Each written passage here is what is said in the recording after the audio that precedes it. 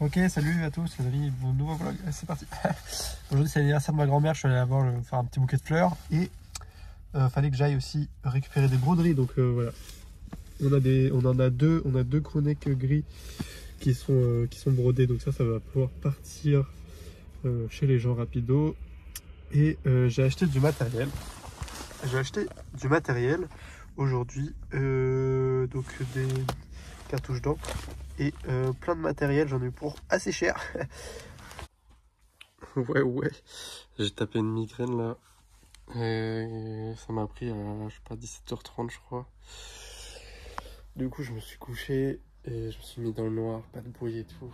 Et là, c'est passé, mais euh, c'est horrible. Vraiment, c'est nouveau de cette année. Je fais ça depuis cette année. Et les migraines sont arrivées en même temps que les vlogs.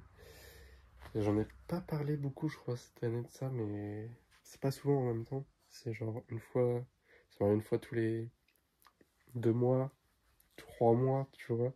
Ça me laisse tranquille des longues périodes, mais quand ça arrive, là, ça va, c'était une petite.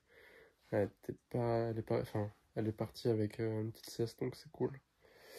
Mais des fois, ça m'empêche même de dormir. C'est compliqué. Et voilà. Bref, c'était la migraine du jour.